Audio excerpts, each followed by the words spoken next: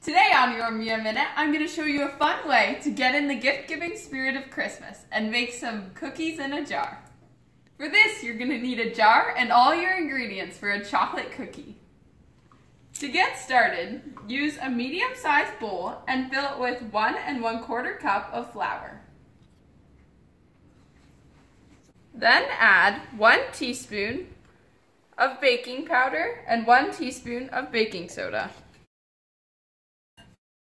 and a quarter teaspoon of salt. Go ahead and mix. If you happen to have a canning tool, they're super handy. Simply place over your jar and fill with your flour mixture.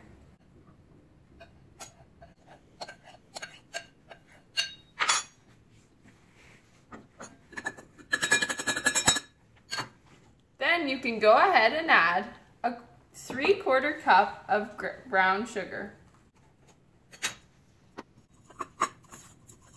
I like to level each layer out with a wooden spoon. Then a half cup of white sugar, a quarter cup of cocoa powder, a cup of chocolate chips,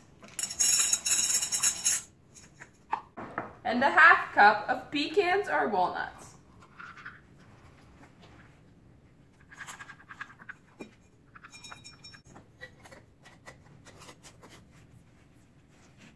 There you have it, a gift that you can decorate with ribbons or fabric or any Christmassy decorations.